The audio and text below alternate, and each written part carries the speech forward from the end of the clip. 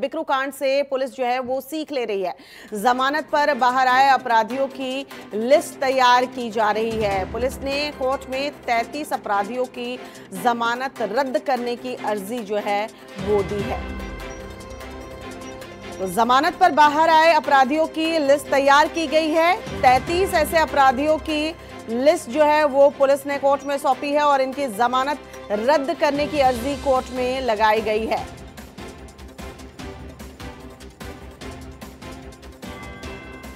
नीरज हमारे सहयोगी इस वक्त हमारे साथ फ़ोन लाइन पर जुड़ चुके हैं।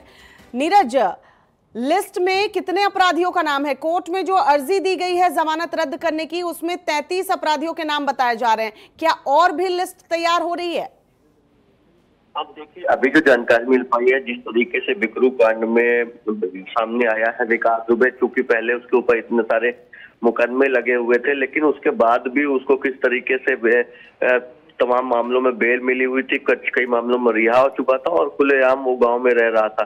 तो इन चीज़ों से सीख लेते हुए अभी फ़िलहाल पुलिस ने तैतीस अपराधियों की चिन्हित करके उनकी जमानत निरस्त कराने के लिए कोर्ट में अर्जी दी है ताकि इस तरीके के बदमाश जो है, अपराधी जो है, वो खुले में ना रहे और ऐसे मामलों की पुनरावृत्ति ना हो सके। जी। नीरज ये जो तैतीस अपराधी हैं ये किन किन मामलों में आ, इनके ऊपर मामले मुकदमे दर्ज हैं और आ, लिस्ट बनाते वक्त आखिर किन बातों का ध्यान रखा जा रहा है? कुछ ऐसे अपराधी जिनके ऊपर संगीन मुकदमे दर्ज हैं जो जमानत पर बाहर घूम रहे हैं उनके खिलाफ ही ये कार्रवाई की जा रही है?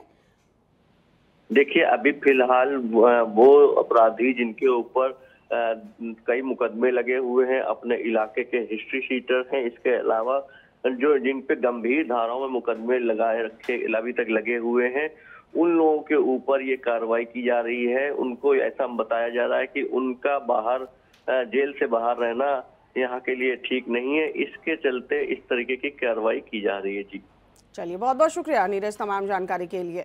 हमारे सहयोगी बता रहे थे कि संगीन मामलों में जिनके ऊपर मुकदमे दर्ज हैं और जो इस वक्त ज़मानत पर रिहा हो चुके हैं और वो बाहर घूम रहे हैं, ऐसे अपराधियों की लिस्ट तैयार की गई है। तैंतीस अपराधियों की ज़मानत रद्द करने की अर्जी जो है कोर्ट में दी गई है।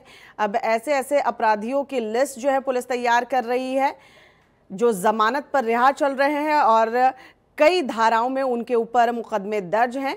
ऐसे अपराधियों की जमानत रद्द करने की अपील जो है पुलिस की तरफ़ से की जा रही है।